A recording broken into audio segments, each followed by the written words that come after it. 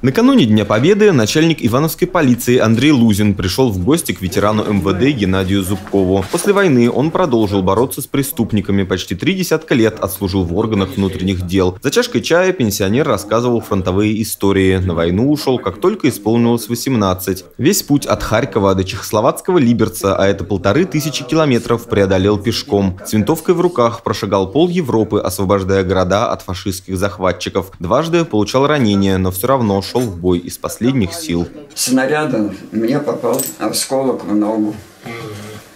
Правда, кость он не задел, а так легкое ранение было. Вот. Ну, санитарка при, прибежала, тут все забинтовала и поковыляла дальше.